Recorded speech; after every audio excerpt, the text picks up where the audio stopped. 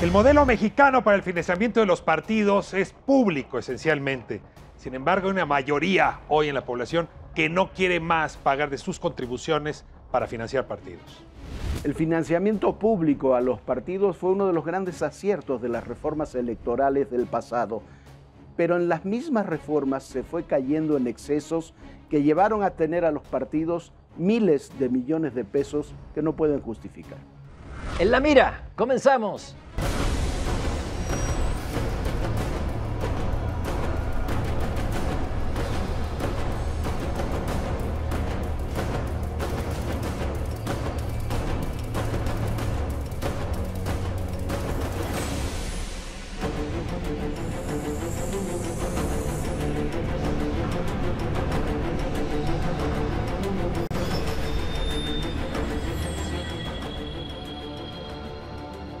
El financiamiento de los partidos políticos es un tema que siempre ha estado sobre la mesa, un financiamiento público que comenzó con una muy buena intención y con muy buenos resultados, también hay que decirlo, en los procesos electorales, pero que comenzó a ser cuestionado en la misma medida en que aumentaba casi geométricamente el financiamiento a los partidos y no su relación con la sociedad. Y nuevamente el tema se pone sobre la mesa de discusión con la próxima reforma electoral, el ciernes, ¿no?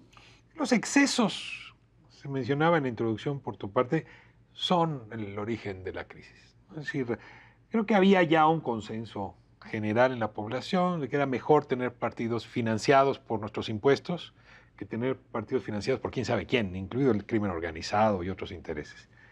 Pero el exceso ha llevado a que una gran parte de la población diga, se acabó, que se rasquen con sus propias uñas. Lo cual se vuelve un problema porque de un lado tienes una población diciéndote, pasemos al financiamiento privado, y del otro lado, una realidad que no ha cambiado, ¿eh? si es financiamiento privado, quién sabe qué tipo de partidos y líderes políticos vamos a tener. Estamos en una crisis evidente. Sí, eh, yo difiero un poco, creo que fue una mala reforma en esa parte demasiado. La métrica que se utilizó para repartir el dinero les otorgó demasiado recursos a los partidos políticos en la reforma de 1996. Fue una brutalidad de dinero cuando el país estaba cayendo a pedazos en una crisis económica brutal, la más grande que hemos tenido derivada de errores de conducción de política económica interna. Entonces creo que fue mucho. Eso tiene que corregirse algún día, pero hacerlo ahora, cuando hay un claro beneficiado que le van a corresponder 1.800 o 1.900 millones de pesos, creo que hay que ver alternativas, porque sí es necesario bajar el financiamiento, es mucho, es un escándalo, pero cuidado con tener a un claro favorito en esta reducción.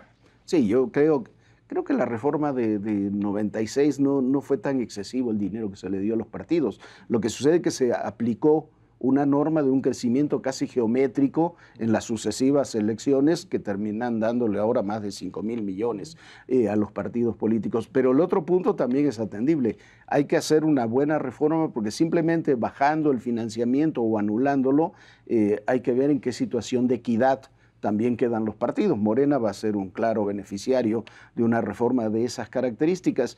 Y queda también el punto que tú tocabas, el financiamiento privado. En muchos países el financiamiento de los partidos es privado, también se privatiza, vamos a llamarlo así, las dirigencias partidarias y, los partidos políticos, porque de acuerdo a, quien aporte al partido puede imponer sus líneas políticas. A, mí me preocupa mucho el consenso social, porque... Eh, si el consenso social mayoritario es para movernos hacia un modelo de financiamiento privado, va a haber siempre un líder político que diga, pues 50% y ya reduzcamos el 70% y hasta el 80% y hasta desaparezcamos. Porque hay, digamos, tierra fértil para ese argumento. Creo que es muy riesgoso y, nuevamente vamos a tener que discutir si la reflexión de Ernesto Cedillo, justamente, que dio origen a la reforma 96, cabe hoy o no cabe. Ahora, si el tema es bajarle, creo que hay muy buenas soluciones. Yo me voy por la fórmula Kumamoto. A ver, el problema de hoy es que estamos haciendo el cálculo de financiamiento de los partidos en función del el padrón, ¿no? cuando en este país no votamos ni el 60%. Entonces lo que dice Kumamoto es, ¿por qué no bajamos? Decimos, a ver, votación efectiva de la última elección y sobre eso utilizamos la fórmula. Si usásemos la fórmula Kumamoto, es decir, salario mínimo contra votación efectiva en la elección anterior, la reducción sería casi del 60-55%. Creo Del que hacia allá total, tendríamos que ir total. y entonces hoy tendríamos un financiamiento de 2.500 millones total para todos los partidos a nivel federal. Falta ver cuánto recién por el ámbito local, pero ese es otro tema. Y yo no descartaría el financiamiento privado. Eh, eh, qué bueno que podamos explorar o que se puedan explorar este tipo de fórmulas como la de Kumamoto.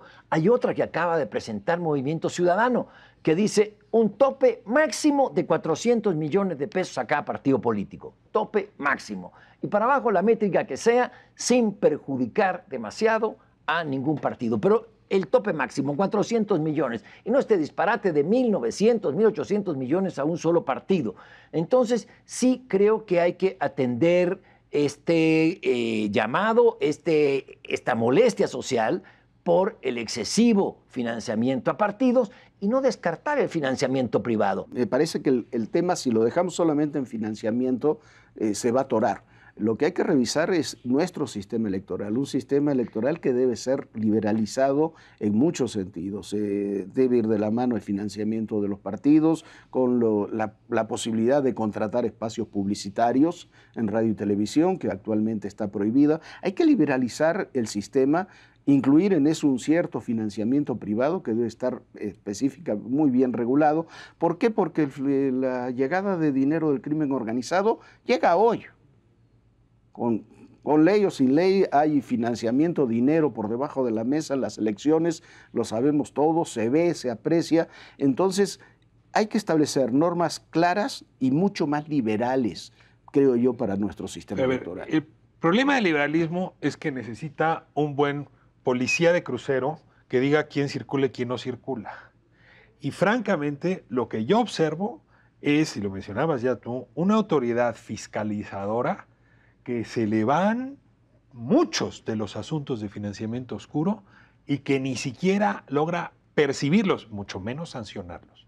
Es decir, con el tipo de fiscalización que hoy tenemos, nos fijamos en los milímetros, pero no vemos los centímetros y hasta los metros de corrupción lo que, que sucede- Entonces habría que cambiar al policía, digamos, que- un policía eh, capaz Lo que de sucede es que también con una elección, con un sistema electoral, perdón, pero con un sistema electoral sobreregulado, donde hay una cantidad de normas imposible, tienes a la autoridad electoral revisando minuto por minuto todos los canales de radio y de estaciones de eh, canales de radio y televisión para ver que no se pasen o que pasen exactamente el- al minuto determinado su publicidad.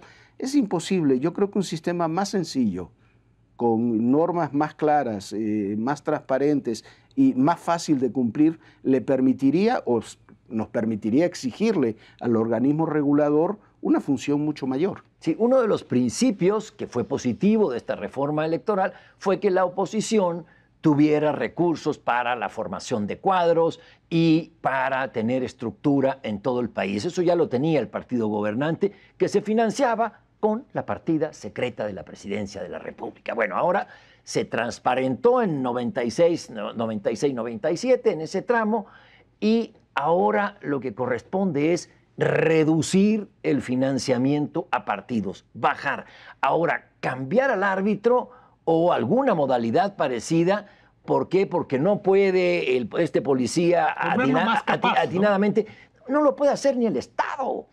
Hay regiones amplias del país donde el crimen organizado te dice, no, ese candidato no. Y aquí el, que va, el candidato que va a ganar es este. Y tú no te metas. Y si no, se mueren. Los hemos visto cómo hay asesinatos. ¿Por qué? Porque se lanzó sin el permiso o en contra de la opinión del capo de la banda criminal de la región a una candidatura. Sí a bajar el monto, sí a que subsista el financiamiento público de partidos y sí a ampliar la banda de financiamiento privado a candidaturas. Ahora, la, la narcopolítica es un problema que enfrentamos y que requiere pues, una atención que va más allá del tema electoral. Pero me, me regreso a algo que me parece un tanto difícil de pedirle hoy a un partido de oposición.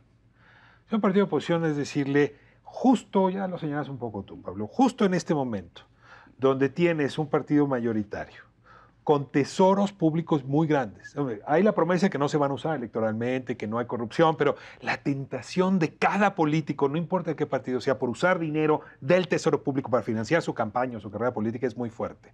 Bueno, un partido con esa dominancia, con disposición del tesoro público y oposiciones a las que se les reduce sustancialmente el recurso para competir sí es una petición injusta. Dejen plantearlo así. yo sé que no tiene mayoría ni consenso entre quienes nos están viendo, pero si yo soy un perredista, soy un priista, soy de movimiento ciudadano, digo, ¿cómo? Además de que estoy en minoría, ¿me vas a quitar lo único que tengo para recuperarme? Es mucho pedir.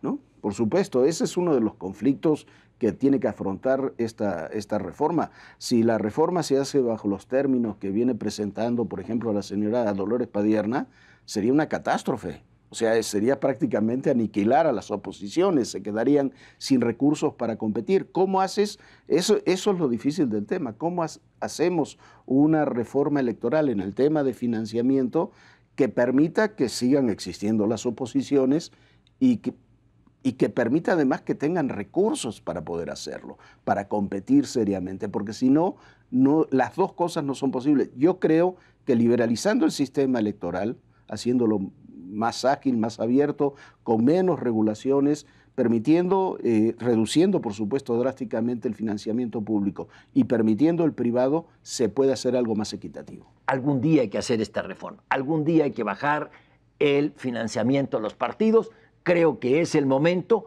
pero que no sea con una métrica para beneficiar a unos y asfixiar a otros. Me monto al lomo de tu argumento. ¿Por qué tenemos un sistema sobreregulado? Por la desconfianza, por la suspicacia. El día que haya menos suspicacia habrá un sistema menos regulado.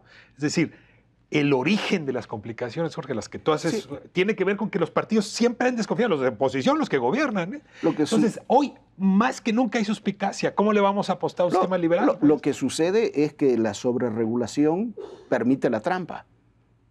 No es que con... pero te da elementos de defensa. Sí, pero todas las elecciones tienes eh, montones de elementos para impugnarlas. Está tan eh, eh, sobre regulado que cualquier partido impugna cualquier elección en cualquier condición.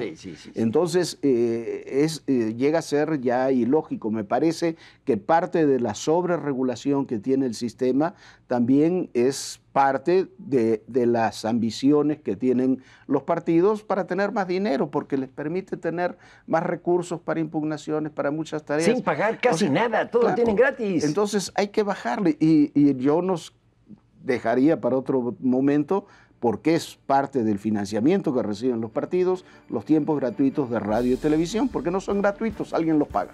Pues quizá no hay mayor diferendo entre líderes partidistas y población que este tema, ¿eh? no hay acuerdo. A ver cómo se va resolviendo, aquí lo seguiremos abordando en la mira todos los martes 22.45. Nos vamos.